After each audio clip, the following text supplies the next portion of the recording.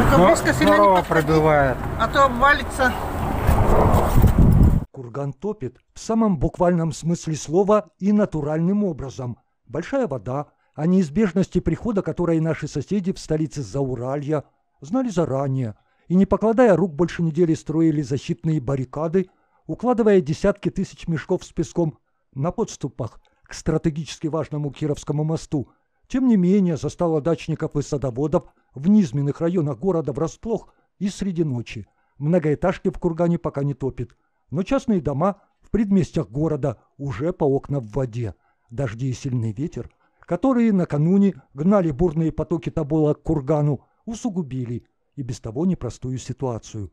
Накануне вечером началась срочная эвакуация жителей микрорайона Тополя, а под утро вой сирен разбудил жителей села Кетово. К слову, в Тополях табун породистых лошадей застрял в конюшнях. Из-за неожиданного разлива их не успели вовремя эвакуировать в сухие места. Сегодня из-за наводнения в Кургане затопило шоссе имени Тюнина. С вечера на нем ограничили движение. Сначала для легковушек, позже для автобусов и грузовиков. А когда трасса оказалась затопленной практически по колено, движение вообще прекратилось. Ближайшие дни будут очень сложными для Кургана. За сутки уровень воды в Тоболе вырос почти на 2 метра. И дома на правом берегу даже дамба не защитит, заявил в интервью губернатор Вадим Шумков. Его зам Станислав Носков уточнил, что в сторону Кургана надвигаются такие гигантские воды, что в Кетовском районе топят даже те районы, которые прежде никогда не мокли в воде.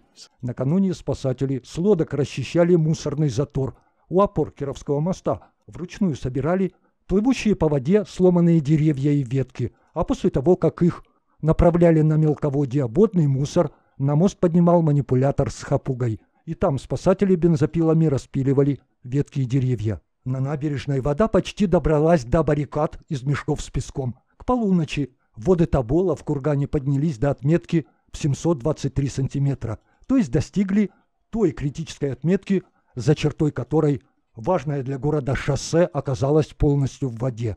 А по соседству в колсаду садовод-любитель облсельхозуправления. На глазах пенсионерки ее дачный домик наполовину ушел под воду.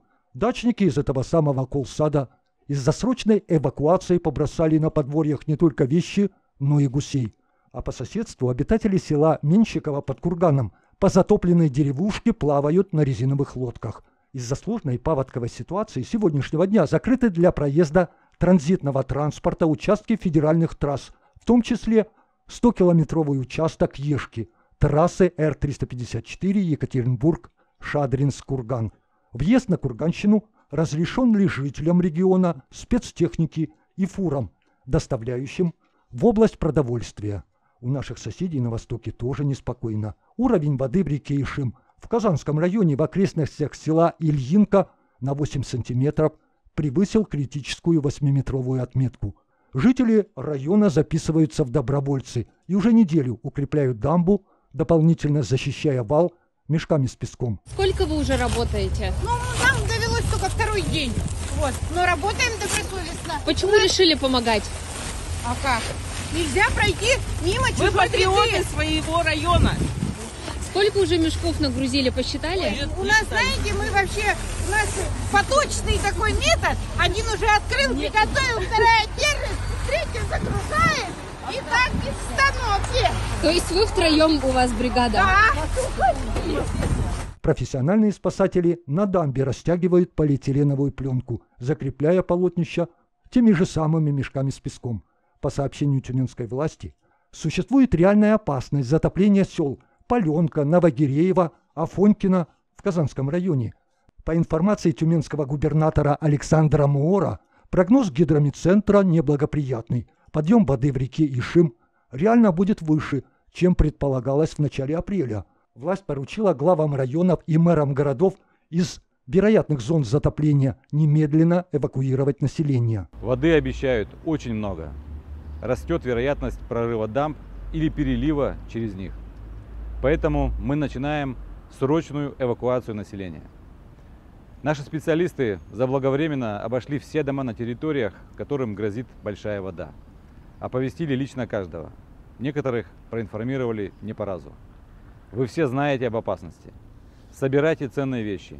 Немедленно выезжайте в безопасное место к родственникам или в ПВР. В пунктах временного размещения мы обеспечим вас всем необходимым. Следите за сообщениями глав районов и городов, четко выполняйте инструкции. По всем вопросам звоните на горячую линию 122. Сегодня она начала работу в круглосуточном режиме. Ситуация очень серьезная. Наша главная задача – сохранить ваши жизни. В Оренбурге уровень воды снизился на 16 сантиметров. Правда, в зоне затопления остаются 5,5 тысяч домов и больше 10 тысяч приусадебных участков. В Орске уровень половодья тоже медленно, но уверенно идет на спад. Больше 3 тысяч домов освободились от воды. Правда, еще больше 3232 дома пока еще домокают. Спасатели мотопомпами и насосными станциями откачали в Орске 143 тысячи кубометров воды и засыпали один из прорывов на дамбе 10-метровой ширины. Но расслабляться пока рано. Большая группировка сил МЧС по воздуху была перебазирована в село Илек, где ситуация не просто сложная, по сути критическая. Уровень реки Урал в этом селе превысил критическую красную черту на 23 сантиметра, достигнув запредельной отметки в 913 сантиметров. Завтра, возможно послезавтра в Илеке ожидается пик половодья, а пока бойцы МЧС, что называется, прямо с воздуха ринулись в бой, укрепляя дамбу мешками с песком. Насыпь наращивает до 11-метровой высоты и на километровом участке сверху дополняют водоналивными дамбами. В целом в Оренбуржье, в котором по-прежнему действует режим ЧС федерального масштаба, ущерб оценивается в 40 миллиардов рублей. 40% затопленных домов восстановлению не подлежат. И при этом до сих пор никто не удосужился внятно объяснить, почему в этом действительно экстремально паводковом сезоне был принесен в жертву Орск. Дирекция управления эксплуатацией Иреклинского водохранилища, федерального госучреждения, ответственная за пропуск больших вод через плотину ГЭС, пока хранит полное молчание, что, к слову, вызывает недоумение у гидрологов и диванных экспертов. Как первые, так и вторые не понимают, почему эксплуататор Ириклы, как называют местные водохранилища, во второй и третьей декадах марта ритмично не опорожняли водохранилища. В итоге дождались критического момента, когда пришлось открывать шлюзы на полную катушку, сбрасывая в секунду больше 2000 кубометров воды, хотя в нормальном состоянии сбросы в 5 раз ниже. На вчерашний день они были на отметке 447 кубов в секунду.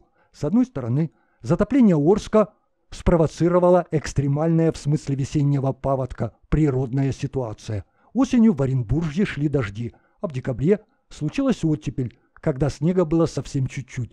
Перед Новым годом грянули жуткие морозы. В итоге земля промерзла на большую глубину. Потом еще и снега навалило немерено. И большая часть марта температура была ниже нормы, хотя в конце этого месяца началось бурное таяние снегов. Вешние воды не смогли впитаться в промерзшую почву и стекали в низины, переполняя речку Урал, которая накопила рекордное количество воды. Гидрометцентр предупреждал о подобном сценарии. Более того, по информации знающих людей, 15 марта в Оренбурге отзаседала рабочая группа, обсуждая грядущий исторический рекордный паводок. По логике вещей, как минимум за две недели до паводка, эксплуататоры водохранилища должны были сбрасывать воду. Но они почему-то этого не сделали. Эксперты предполагают, что из-за экономии испугались маловодного лета и решили перестраховаться, задержав в ложе Ириклы максимальное количество воды, чтобы запасов хватило и на водоснабжение предприятий и жилой инфраструктуры, и для нормальной работы ГЭС. Похоже, господа товарищи пожадничали, и мы получили то, что имеем. И это еще не конец. Сегодня мэрия Орска объявила срочную эвакуацию поселка Тукай из-за перелива через дамбу на частном водохранилище на границе с Казахстаном.